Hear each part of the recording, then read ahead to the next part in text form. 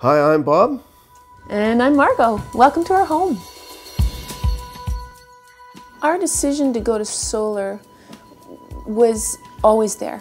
When we built this home, um, we built it with certain goals in mind, and solar was always one of those goals. It was something we knew with where we live and how much we knew we could generate with uh, solar energy. We knew it was going to be in the cards.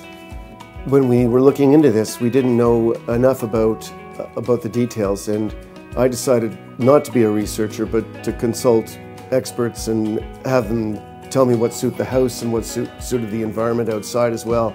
They had all the time in the world to go over everything with us. The initial visit was great. Uh, we came away knowing all our options and could make our decision weeks later. It was great. We had always thought we would do the feedback into the grid system, um, into back into the hydro, but we can't do it because of where we are. There's not enough ampage on our road to, to feed back into the grid.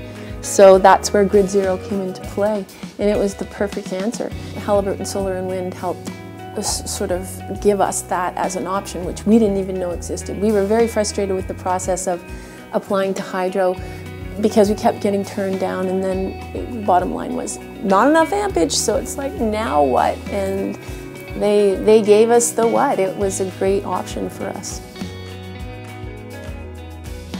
Given that it was such a large uh, system and uh, they're not next door, uh, it went really smoothly.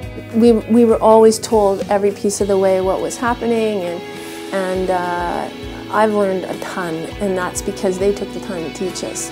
For me it was fantastic because now I have a much better grasp on managing it as, you know, as we're on our own now. We feel it's not a done deal once you've done it. Uh, it's an ongoing arrangement and uh, uh, we feel we can call anytime. Because we do get some power outages here. Of course, we're getting, we're in that zone of the ice storms and uh, we won't necessarily know that there's a power outage.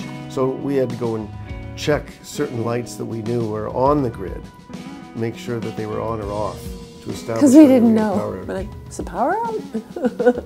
For me, the, the most profound use of the solar has been the electric car to, to drive the electric car and, and think that we're driving this car which is powered on solar.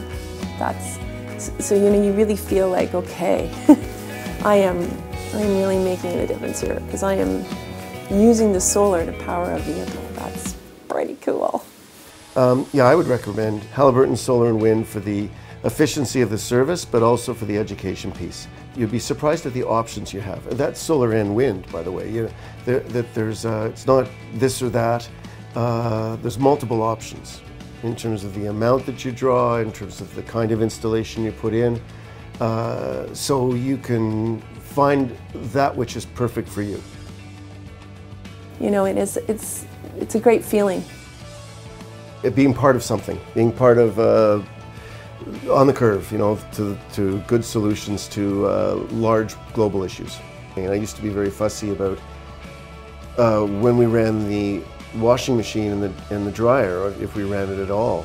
Um, now I don't care. I'm independent of, we do I'm independent of, uh, of, of, that uh, price scaling, I guess. And uh, that's, that's good. I can do laundry anytime I want.